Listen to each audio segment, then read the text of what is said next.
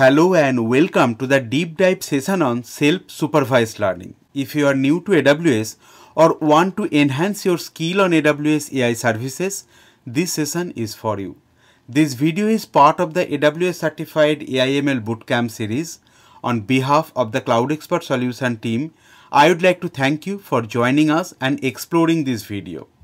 In recent AWS AI practitioner exam, we have noticed one to two questions on self-supervised learning.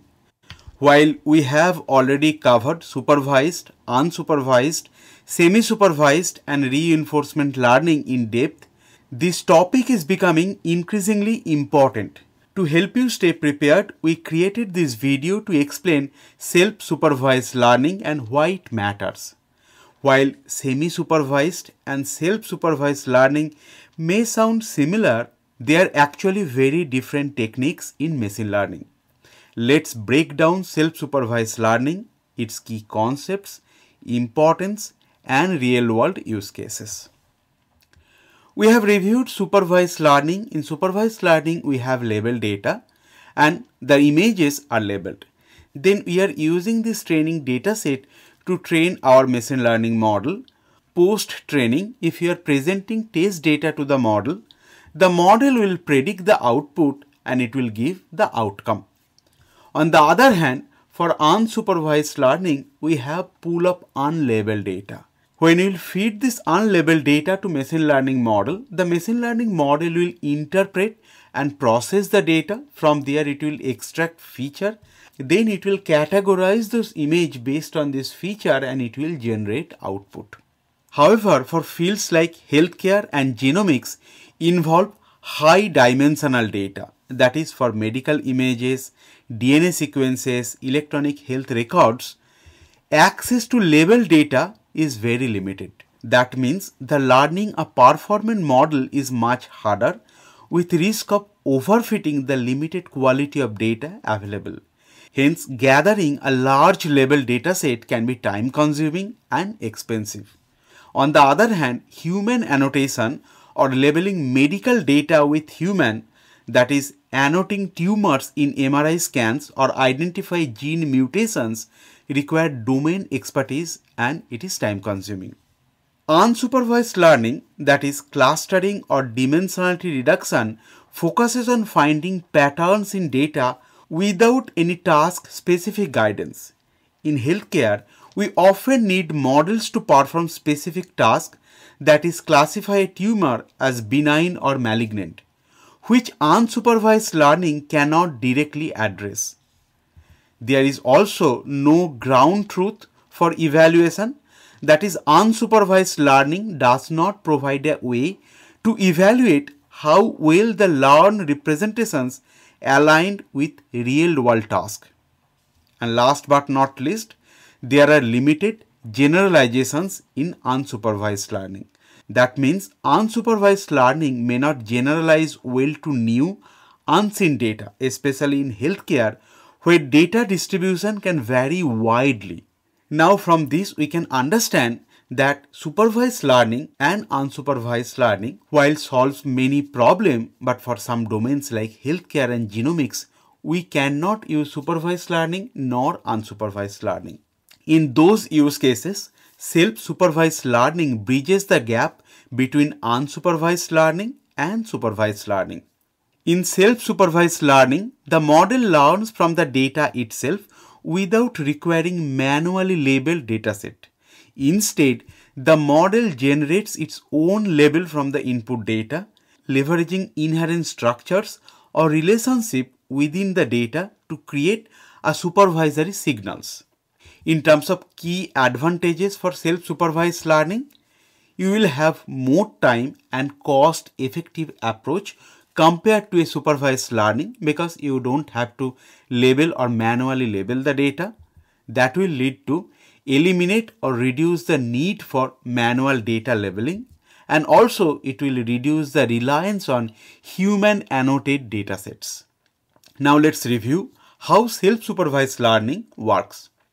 The step 1 in this process is pre-text task which is unsupervised phase and here the objective is the model learns meaningful representations from the unlabeled data. In terms of input data, we can have unstructured or unlabeled data that is images, text or genomic sequences and then we can create a pre-text task. Create a task where the model predicts part of the data from another part. As an example, if you have image data, you can predict missing patches of an image or rotate an image and predict the correct orientation. If you have text data, you can predict missing words in a sequence. If you have genomic data, you can predict missing nucleotides in a DNA sequence. Once the pre-text task is created, the next step is model training. Then train the model to solve the pre-text task then the model learns to extract useful features from the data that is embeddings or latent features. In this pre-text task, the model is trained on auxiliary tasks with pseudo labels generated from the data that will help the model learn meaningful representations of the data. The next step or step 2 of the process is downstream task and here the objective is we use the learned representations from previous step for a specific task. Now take the pre-trained model from the pre-text task and fine-tune it on a similar label dataset for a specific task. Here you have the downstream task or the actual task and as an example for healthcare you can classify images that is tumor detection. For genomics you can predict functions or disease risk and for natural language processing you can analyze sentiment or text classifications. Now with the pre-trained model once you have the downstream task it can predict the output. For our example we have used image classification for medical use cases and we want to detect tumor that is why our output will be it will categorize the tumor as benign or malignant. And now at the end step, we can fine tune that model. We can adjust the model's parameter to adapt any new task.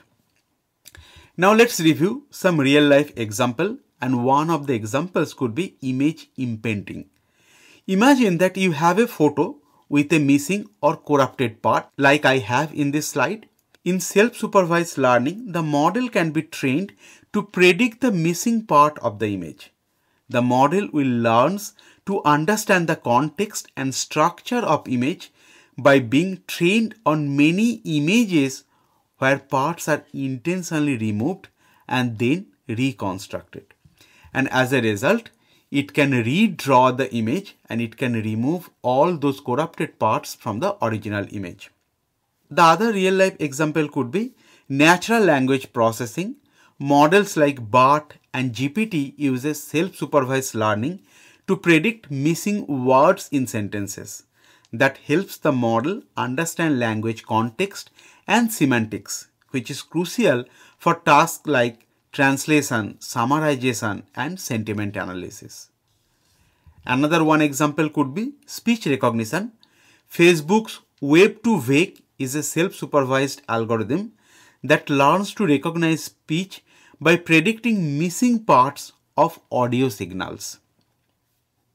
Now let's review some use cases. The first one could be medical imaging. Self-supervised learning can pre-train models on large unlabeled datasets of medical images that is X-rays, MRIs to learn general features. Then the model can be fine-tuned for specific tasks like detecting tumor or classifying diseases. For genomic sequencing, self-supervised learning can predict missing parts of DNA sequences or infer gene functions from unlabeled genomic data. This is very useful for tasks like identifying disease-causing mutations or understanding gene regulations. For electronic health records or EHR use cases, self-supervised learning can learn representations from unstructured EHR data that is patient note, lab results to predict patient outcomes or recommend treatments. Last but not least, drug discovery. Self-supervised learning can analyze molecular structures and predict drug-target interactions, which will accelerate the discovery of new therapies. Please stay tuned and explore other modules from the bootcamp playlist for a comprehensive understanding of the topics required for the certification. That wraps up this module. If you found this video helpful, please give it a thumbs up, subscribe for more update and feel free to drop any question or feedback in the comments. We would love to hear from you. I hope this session helped you gain a deeper understanding and brought you one step closer to your learning goals. Thank you very much for watching and learning with us at Cloud Expert Solution. See you in the next module.